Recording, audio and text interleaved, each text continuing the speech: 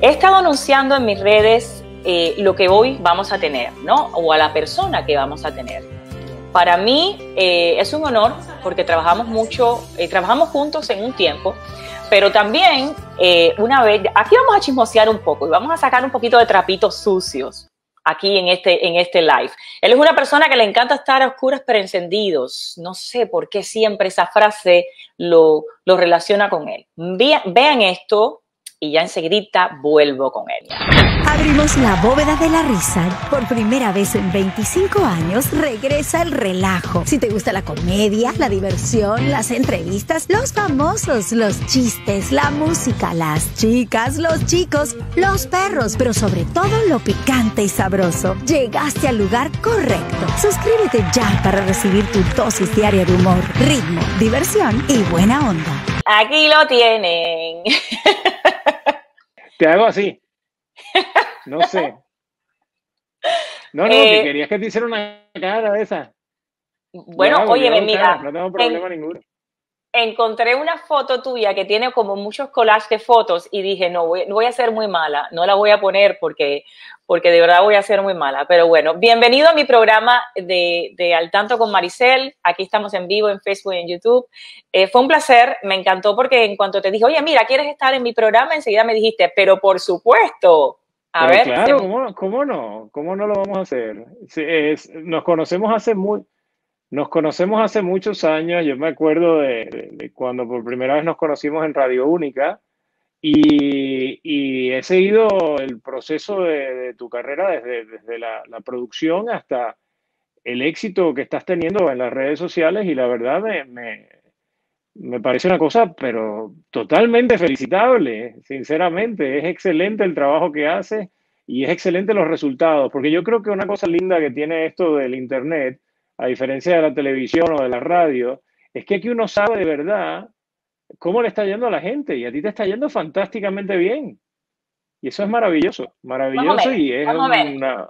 No, no, no, no, no, no, no, yo me, yo, o sea, estoy aprendiendo ahora eh, a hacer un poquito esto y, lo que has logrado tú es espectacular. Así que mm, eh, honor a quien honor merece, sinceramente. Bueno, mira, eso es constancia, em, es dedicación, eh, es a veces no rendirse. Creo que no te, no te creas, en muchas ocasiones he dicho, ay, yo no lo voy a hacer más, porque de verdad es mucho trabajo. La gente no sabe para, llevar un canal de YouTube a, tener los seguidores que yo tengo, el trabajo que, requieren. No pude escuchar bien, pero tú dijiste algo de que te, habías encontrado una foto mía que tenía muchos likes y que no le ibas a mostrar, tenías que mostrar lo que quieras. Aquí puedes mostrar lo que quieras.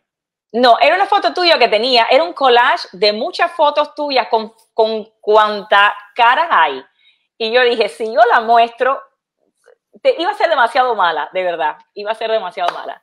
Entonces, dije, déjame, déjame portarme bien, Maricel, y vamos al contexto de, lo que se trata esta entrevista. Las personas que nos están viendo en otros países, este señor, pues es un boricua de la Isla del Encanto, eh, lleva muchos años trabajando para los medios americanos en español, es presentador, productor, eh, periodista, comediante, ¿eh?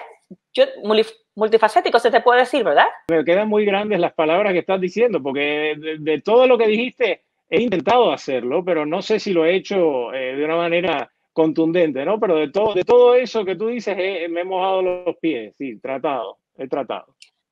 Bien, está celebrando los 25 años de Oscuras para Encendidos. Eh, yo sé que tú has tenido muchas otras producciones que han pegado, que tienen el sello tuyo, como, eh, bueno, los, radio, los shows de radio que has tenido, eh, Arriba con Paul, La Boca Loca de Paul, pero el eslogan tuyo o el, que, o, el que, o el sello o lo que la gente te identifica es oscuras pero encendidas.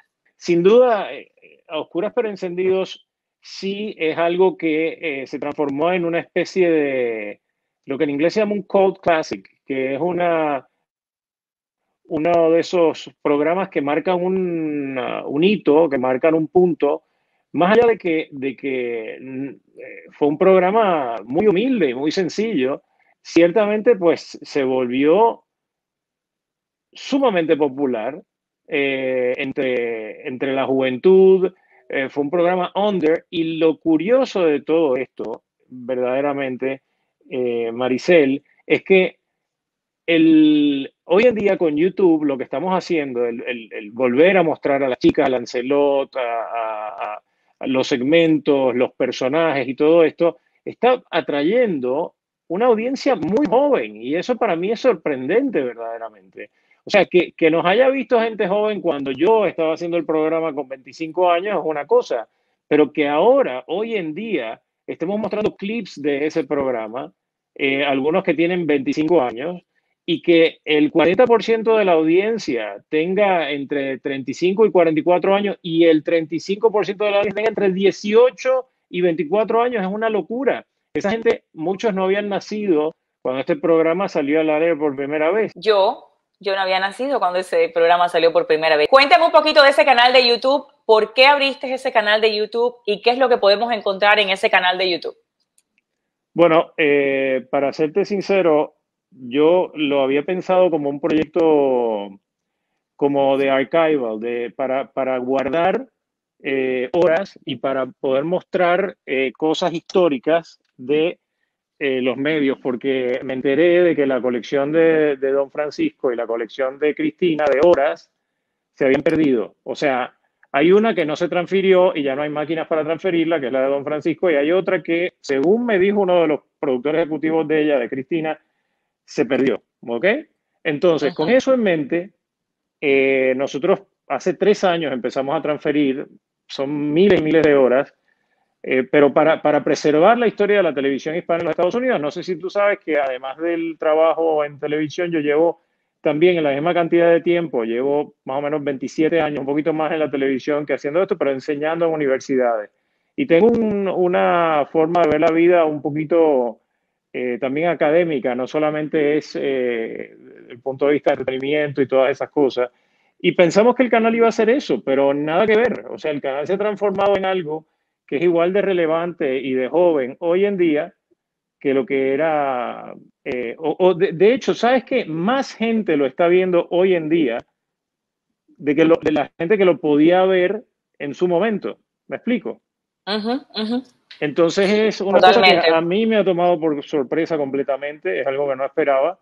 Y, nada, me, este, yo estoy feliz y el equipo que trabaja conmigo también no lo puede creer, son mucha gente joven, el, equipo base de la compañía son gente de mi edad, pero los que hacen el trabajo día a día son gente joven, son gente que, de hecho fueron los primeros que me dijeron, a mí me gusta esto, cosa que yo no entendía a qué se referían, pero me decían, a mí me gusta esto y lo hicimos. O sea, me, llamó la atención poderosamente la reacción de ellos y después vi que tenían razón, eh, porque es impresionante la cantidad de gente joven. Yo no sé si se escuchó lo que yo te dije antes, pero esa cantidad de gente joven eh, que, estamos recibiendo, que, que el 37% sea gente de 18 o 24 años, me parece una cosa loca que yo no me imaginé jamás. Eh, te voy a hacer, tengo que aprovechar y tengo que eh, preguntarte, porque hoy cuando estuve hablando con unas cuantas amistades mías y cuando puse eh, o, promoví esto en las redes sociales, me empezaron a llegar algunos cuantos pues recaditos,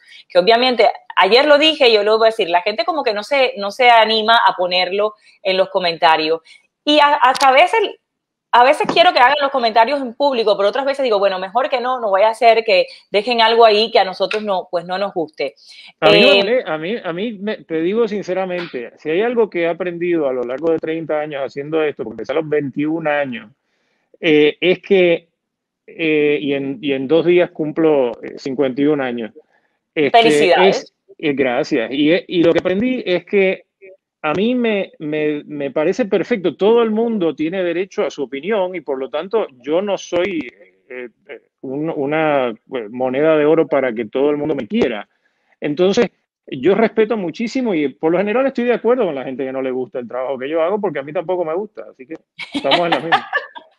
Mira, me, me, dijeron, por favor pregúntale de dónde saca él ese humor diferente. ¿Tú te consideras que tu humor es negro, qué color le pones a tu humor, porque tu humor es un humor completamente diferente y eso, eso fue lo que para mí te hizo, te separó, te desenmarcó del humor que estábamos acostumbrados aquí en Miami.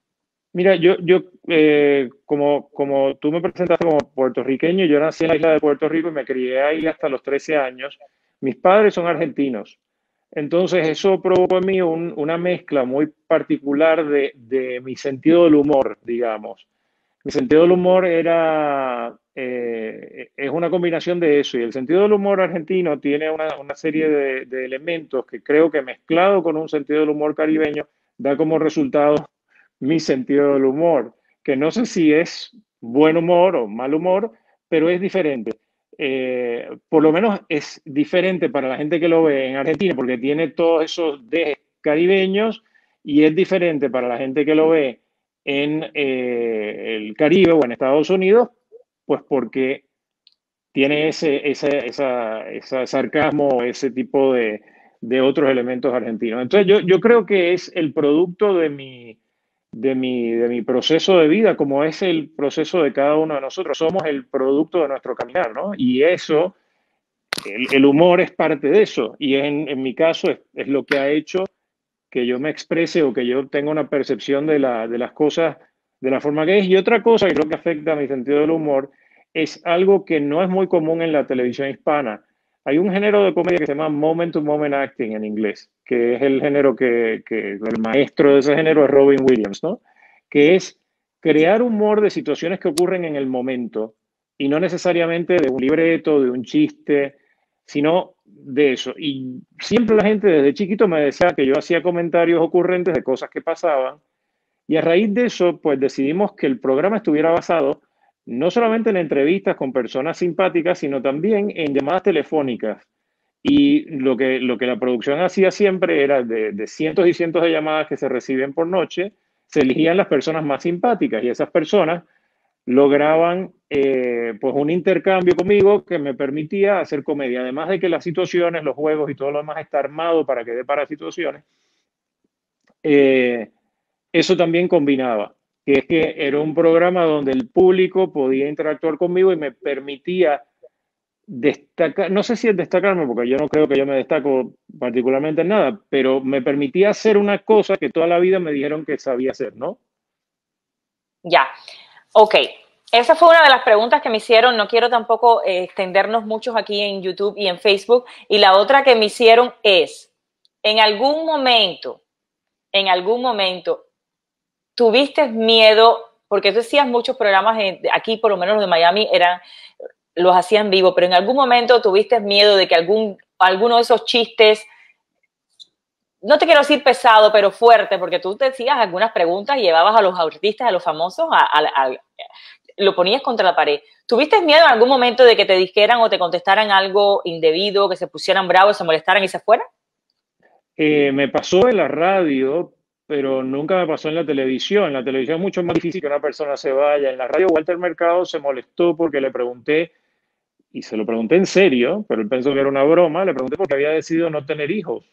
Cuando, cuando es perfectamente normal que un hombre, aunque él era gay y no lo ha admitido en ningún momento, eh, pues, ¿por qué, no, ¿por qué no decidir tener hijos? Ricky Martin tiene hijos y, y me parecía una pregunta válida. Y él lo tomó como una ofensa y se fue.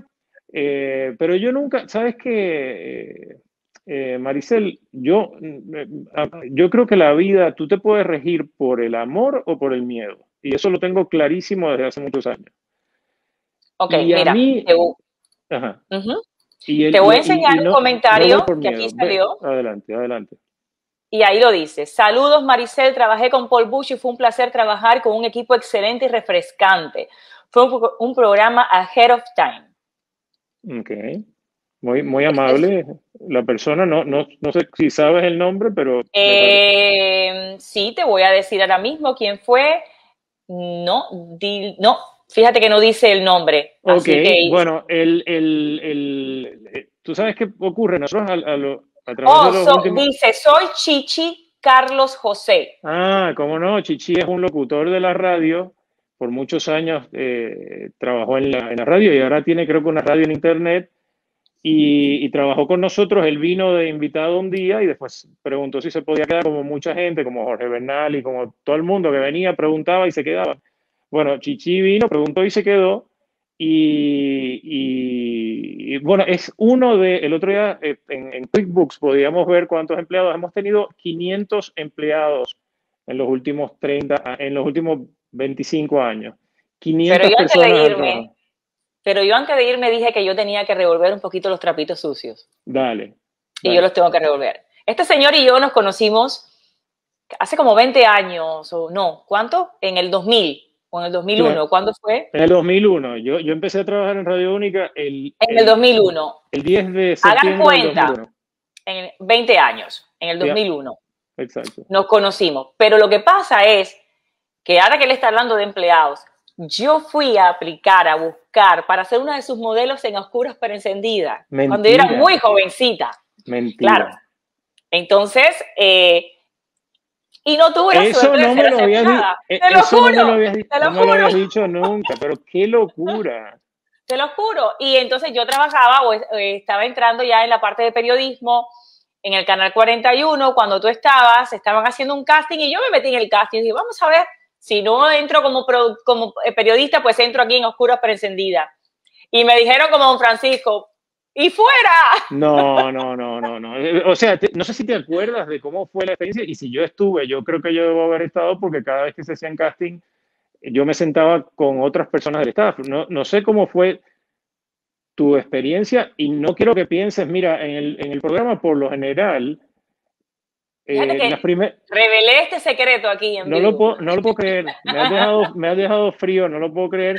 Y quiero que sepas una cosa. Eh, eh, Sisi vino a hacer, ¿sabes quién es Sisi? Una, una chica cubana que trabajaba gigante. Bueno, Sisi vino a hacer el, el casting, eh, de hecho, ella lo cuenta, que fue el primer casting que hizo cuando llegó de Cuba, y tampoco, tampoco quedó en el programa, pero Sisi, por ejemplo, hay veces que las modelos no se enteraban de por qué no.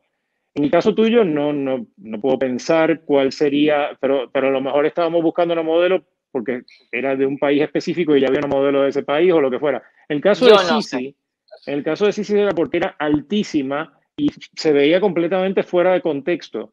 Porque no, no sí, en el caso mío yo sí sé eh, simplemente, claro, eh, tú tenías pues una de cada país, ya tenías a la cubana, que era, era Saraí, que la quiero muchísimo. En ese momento era Saraí, ¿cómo no? Que trabajó conmigo también en la radio, a quien le mando pues un besito.